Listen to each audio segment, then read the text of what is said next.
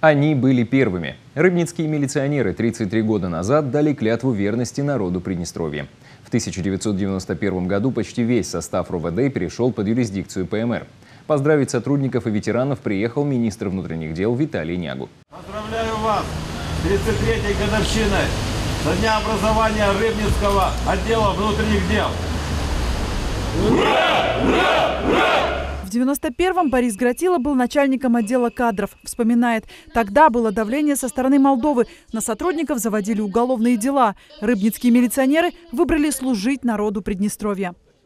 Мы чувствовали, что Молдова начинает давить на приднестровских сотрудников. Э, Нас в апреле месяце 91 года решили переаттестовать с милиции в полицию. Поэтому сразу вопрос стал э, национальности. Изучение румынского языка Мы начали давление на наших депутатов.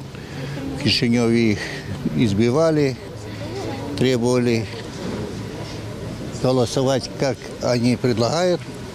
Поэтому э, они обратились к нам за помощью, чтобы взять их под охрану.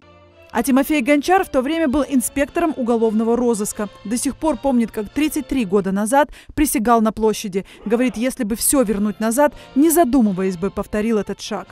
под руководством тогдашнего начальника Рыбинского ВД э, Фучерджи Ивана Васильевича мы построились и пошли на площадь города Рымницы, на, площадь Победы, где торжественно приняли присягу на верность Приднестровью.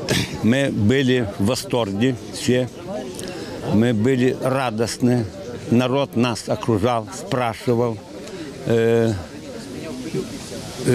поздравлял нас. Люди поздравляли цветами, то мы не знали, что может случиться с нами. Если бы не состоялось бы Приднестровье, то мы все оказались бы в тюрьмах Молдовы. Это сто процентов. Но благодаря усилиям всего народа Приднестровье состоялось. И оно процветает. К примеру Рыбницких последовали милиционеры и других городов Приднестровья. Сегодня ветеранской организации РОВД торжественно вручили знамя. Каждый год мы собираемся здесь, на этом историческом месте, где было принято очень важное судьбоносное решение не только для Рыбинского района, но и для всей нашей республики. Сотрудники советской милиции приняли решение перейти на сторону народа, защищать его права и создавать новое молодое государство, Приднестровскую Молдавскую Республику. Это поистине подвиг каждого из вас, товарищи ветераны. Сегодня вспоминали сотрудников, которые погибли при исполнении служебного долга, а лучшим вручили награды и очередные звания.